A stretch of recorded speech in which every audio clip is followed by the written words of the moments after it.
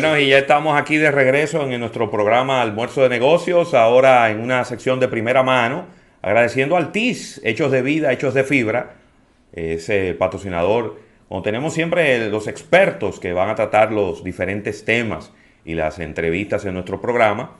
Y la verdad que para nosotros es un placer tener con nosotros a Aide Polanco, quien es eh, pues un especialista en todos estos temas de recursos humanos, de reclutamiento, a través de su empresa Mundo Laboral.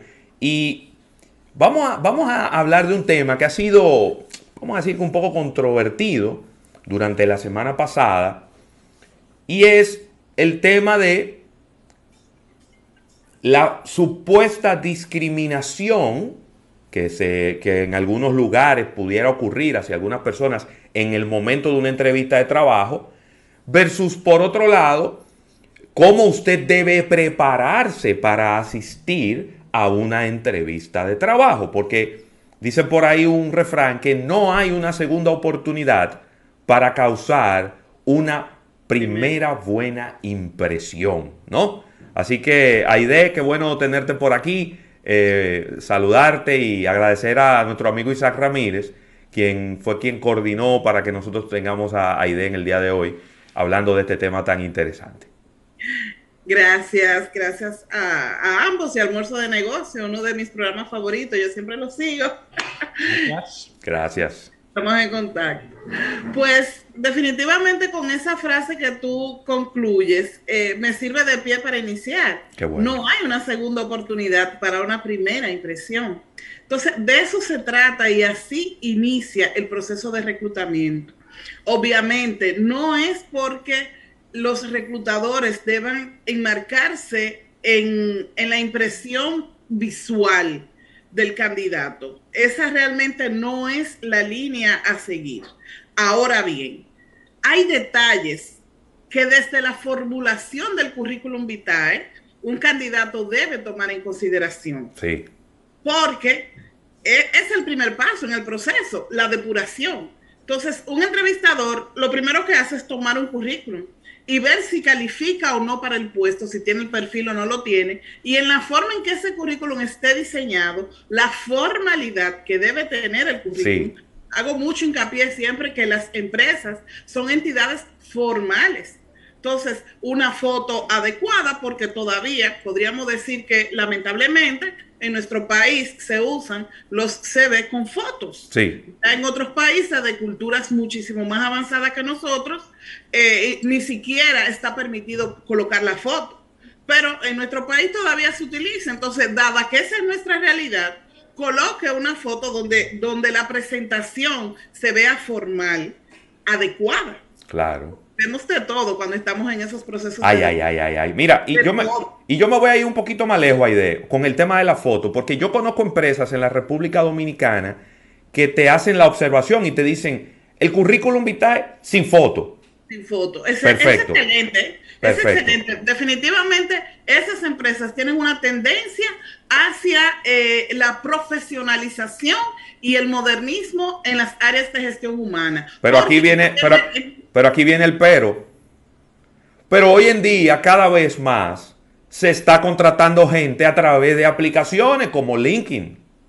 Exactamente. Entonces, en esa aplicación, su perfil tiene una foto se ve el perfil y se ven las redes. Exactamente. Entonces, claro está, eso nos ha impulsado a nosotros recomendar siempre y hablar entre los colegas eh, que somos reclutadores de que no podemos prejuiciarnos, no debemos marcar estereotipos. Y ahí conectamos con el tema de la discriminación.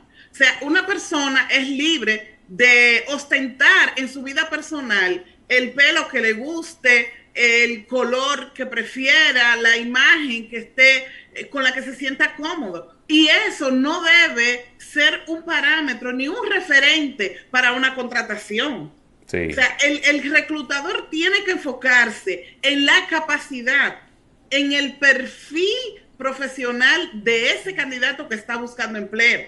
Y cuando hablamos del perfil, estamos hablando de eh, condición, capacitación académica, sí, sí escolaridad, capacitación académica, conocimiento, experiencia, habilidades, competencias. Sí. hoy en día nosotros estamos muchísimo más enfocados a trabajar en función a competencias. ¿Qué son las competencias? Esas condiciones eh, que diferenciadoras en cada persona y que van acorde al puesto de trabajo. Si yo estoy buscando un gerente, voy a buscar competencia de liderazgo, de manejo de equipo, de empatía, etcétera, etcétera, etcétera. Entonces, eso es lo que debe importar en el momento de realizar un proceso de reclutamiento y selección. Déjame hacer una pregunta, Aide. Porque obviamente tú sabes que el papel lo aguanta todo. Exacto. Y no todo el mundo es 100% honesto en la elaboración de su currículum vitae, de su hoja de vida. Entonces, ¿cómo un profesional del área de reclutamiento, selección de personal pone en una balanza su intuición, su experiencia al momento de estar revisando currículum vitae, hoja de vida, versus lo que ve en el papel? Porque estamos claros de que hay una posición y llegan 53 currículum vitae. Entonces tú tienes que, de, en de una manera rápida, eficiente, poder revisar esos 53 y tú ver cuáles son los mejores candidatos que hay ahí.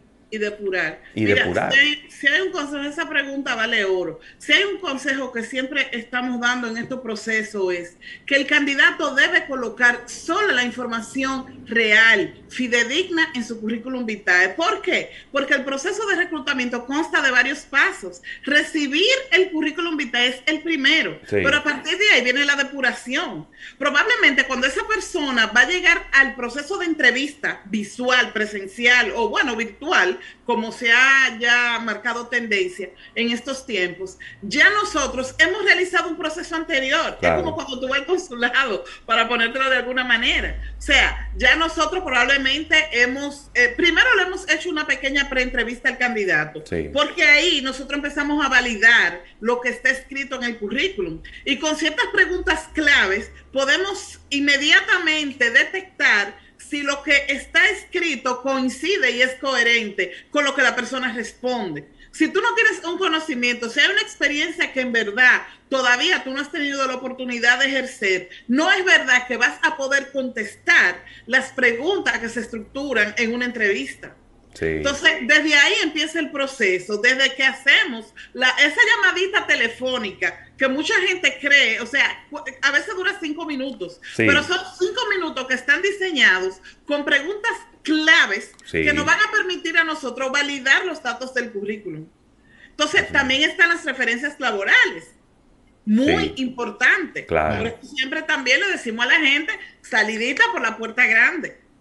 Porque las referencias laborales tienen un peso enorme en este proceso de depuración también. Claro que sí. Entonces, y ya luego, obviamente, pues viene el proceso de entrevista donde no solamente recursos humanos, lo que realmente procede es que recursos humanos entreviste con el especialista técnico dueño de la vacante. Claro. Entonces, recursos humanos va a trabajar sobre la parte persona mientras que el gerente del área o el encargado va a trabajar sobre la parte técnica. Entonces, por eso es tan importante para quedar bien en un proceso de reclutamiento, que la persona aplique a las posiciones que realmente cumple con el perfil. Muy bien, Aide, eh, ya aterrizando 2021, y no quiero, no quiero que se interprete la pregunta como un tema de género, pero no podemos eh, ignorar ni darle la espalda de que las damas, las mujeres han ido avanzando enormemente en el mundo laboral y cada vez escalando y ocupando mayores posiciones e inclusive instituciones financieras que el más del 60% de su, de, su, de su matrícula laboral eh, son mujeres. Desde tu punto de vista, ¿qué ha venido ocurriendo en República Dominicana específicamente con las damas, con las mujeres que cada vez están ocupando mayor cantidad de puestos, en, inclusive en áreas que anteriormente no se encontraban, y el avance desde el punto de vista de recursos humanos de las mismas. Yo lo veo que hemos, ido avanzando, hemos dado pasos bastante gigantes en ese sentido. Siento, y por la experiencia que me ha tocado vivir, que cada vez es menor el prejuicio contra la mujer. Todavía existe, todavía hay instituciones que ponen ciertas trabas porque para ese puesto no, o sea, no es que tenga nada en contra de la mujer en sí, en otras posiciones, sino que para ese puesto no, porque quizá la demanda de trabajo de una posición específica es muy fuerte o requiere cierto esfuerzo físico o va a trabajar con un grupo quizás de, de varones, entonces ahí muchas veces se queda la duda y el empresario prefiere eh, eh, mantenerse, vamos a decir, con ese, con ese prejuicio de que entiende que la mujer no tiene la capacidad. Pero si nosotros vemos la historia de cómo antes la mujer, inclusive el salario de la mujer era menor que el del hombre, trabajando juntos en una misma empresa, en una misma posición. Entonces, todo eso ya ha venido cambiando. La ley de seguridad social, siempre digo que nos ayudó bastante, que por un lado a veces es muy criticada, pero yo he podido ver muchas bondades de la ley. ¿Por qué? Porque ya el empresario no tiene que pagar el pre y postnatal de la mujer. Y antes, cuando no existía la ley de seguridad social, una de las cosas que los empresarios decían, ay, y está casada, y ya tiene hijos o no ha tenido hijos, ay, me va a salir embarazada. Son tres meses que voy a tener que pagarle a esa persona y buscar una sustituta. Entonces, quiérase o no, eso era un puntito que nos restaba a nosotras. Hoy en día ya el empresario se quitó esa carga económica y entonces lo ha hecho liberarse un poco más con el tema de la mujer. Y la verdad hay que decirla, o sea, eh, la palabrita del momento, las mujeres estamos empoderadas. Claro. Y la capacidad gerencial, la organización, la metodología, la proactividad, o sea, se puede ver muchísimo en, las mujeres eh, del país y, a nivel mundial. Nosotros no nos quedamos fuera en este gran avance claro. femenino. Claro que sí, claro que sí. Yo quiero eh, quizá referirme puntualmente a, ese video que se hizo viral, todo el mundo lo vio, una joven eh, muy acongojada, llorando, diciendo que la habían discriminado por su tipo de pelo, el cual en el video yo no noté que ella tuviera un pelo Nada que discrimina. Desde mi humilde punto de vista. No sé inclusive si el comentario y la, y la percepción mía es discriminatoria. Pero yo veo hoy en día en las empresas, dentro de las empresas, cuando uno va a hacer cualquier servicio, yo he visto que ha habido todo un cambio en la política de cómo las damas se acicalan. Y yo veo hoy en día que las mujeres muestran muy orgullosas sus, sus afros. Y yo no he visto que eso ha sido detenido por ninguna empresa de las más grandes. Pero ella también plantea que, y lo pone como uno de los puntos principales, el tema de tatuajes. Eh, que siempre ha sido un tema muy controvertido porque son cosas que son permanentes, ¿no? Y que hoy en día cada vez son más populares, son más comunes, antes eran muy extrañas. ¿Qué tanto puede influir en, una entrevista laboral y por la posición que esa persona va a ocupar el hecho de que esa persona tenga unas marcas permanentes en su cuerpo que se la hizo de manera voluntaria, ¿verdad? Porque no estamos hablando que fue un accidente, ni que es una marca de nacimiento, sino que fue algo voluntario que esa persona se realizó en un momento determinado. Tú, tú, habiendo visto este video, tú le encuentras una coherencia al, discurso que ella, que ella da desde el punto de vista general, porque no sabemos, no estábamos ahí al momento de ella eh, estar en esa entrevista de trabajo. Claro. Es cierto que se da la discriminación. Creo que como país hemos ido avanzando cada vez más a dejar de lado esos prejuicios. Un tatuaje no va a definir la calidad profesional de, un de una persona. Nunca, jamás, ni un color de pelo, ni un pelo afro, eh, nada de eso, al contrario. Eh, de hecho, el pelo afro es un sinónimo de autenticidad, de nuestra cultura, de aceptación. Entonces, eh, eh, en vez de ser algo negativo, pues en, en, las áreas de gestión humana que vivimos siempre las colegas hablando de estos temas, lo vemos muy bien cómo esta juventud se eh, tiende a ser más auténtica consigo mismo y con, y con, sus estilos. Ahora bien, sí, con relación al video de la joven, a mí me llamó mucho la atención el hecho y me hice la pregunta, ¿cómo ella sabe que la discriminaron por eso? Porque no en un proceso de reclutamiento simplemente la persona cumple o no cumple con el perfil del puesto o con las políticas de la empresa. Claro. Porque una empresa siempre se va a reservar el derecho de elegir a quién contrata y a quién no contrata. Totalmente. Entonces, normalmente nunca se da un detalle del por qué yo no te seleccioné. Yo tengo 10 candidatos y elegí uno de esos 10 que no necesariamente tenías que ser tú. Claro. Y a los restantes 9 nosotros lo que se estila es mandar una comunicación que regularmente se hace un correo por escrito, donde usted le agradece a la persona haber participado en el proceso, que lo, lo, tomaremos en cuenta para otra oportunidad, pero que en este momento no ha sido seleccionado. Entonces, eso es algo ya. Yo inclusive cuando escuché dije, bueno, o sería una persona muy novata en recursos humanos o una empresa demasiado informal que se que, que, tuvo la osadía de hablar de esto. Claro. Pero en sentido general, ah, y lo que tú, como tú me preguntas, yo creo que todavía existe, claro que sí, no podemos decir que no. Hay, hay empresarios que tienen eh, estos estereotipos y, estos estigmas con las personas tatuadas y quizá con unos estilos un poco diferentes. Yo decía que es importante, pero yo entiendo que cada día vamos trabajando en eso. Yo decía que es importante que la gente diferencie muy bien lo que es eh, una discriminación de no cumplir con unas políticas un código de vestimenta de una institución. Claro. Porque a veces no es el tatuaje. A veces es que el tatuaje está aquí en el hombro, pero la persona fue con una blusa de tiritos. Sí. Inadecuado el vestuario para presentarse a una entrevista formal del trabajo. Entonces puede ser que ese candidato diga, ay, por el tatuaje, no fue el tatuaje. Es que tu presentación desde el inicio fue informal e inadecuada. Y probablemente tu forma de conversar, de manejarte, más los demás procesos que nosotros hacemos, no, no permitió que te tomáramos en, cuenta como, como, candidato para la posición que aplicaste. es bien importante diferenciar esa parte.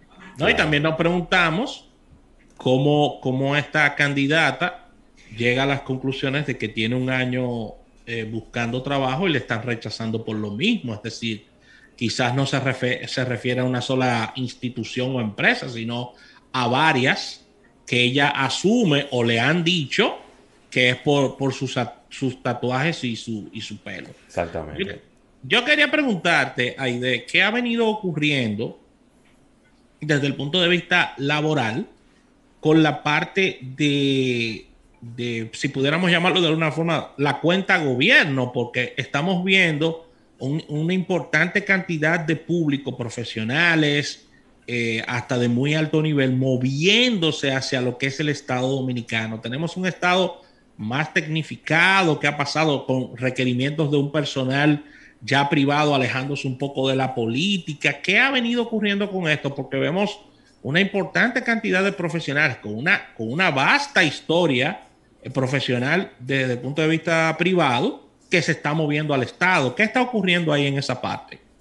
Yo creo que la gente ha notado, y en Santo Domingo es todavía muchísimo más notorio, dado que están eh, todas las instituciones gubernamentales, la matriz, las personas se han dado cuenta de cómo ha avanzado el sector gubernamental en República Dominicana.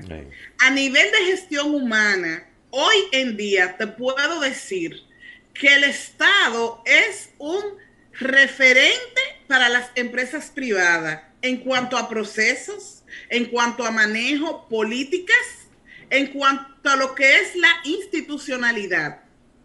¿Qué ha permitido esto? Que al hacer procesos que son objetivos, que son institucionales, que son profesionales, eso ha arrojado luz a las oficinas gubernamentales de lo que se requiere en las áreas, eh, tanto de gestión humana como las demás áreas de una empresa. ¿Qué yo les quiero decir con esto, aterrizándolo? Por ejemplo, las escalas salariales.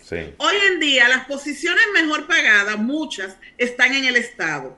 sea, si lo comparamos con Santo Domingo, la competencia con las empresas privadas es alta, pero eso es en Santo Domingo. Si lo comparamos con el resto del país, la diferencia entre los salarios estatales y las empresas privadas es del cielo a la tierra. Ay, Ravelo, yo lo hay. Para que ustedes estén claros en eso, ¿verdad? Entonces, no me voy a basar solamente en Santo Domingo, que la competencia va un poquito reñida. Entonces, ¿qué pasa? El Estado ha invertido, el Ministerio de Administración Pública, el MAP, ha invertido en sus procesos de estudios de escalas salariales, de manuales de cargos, de definición de cargas laborales, ha profesionalizado esa parte de gestión humana que ha permitido darle la valoración necesaria a cada posición.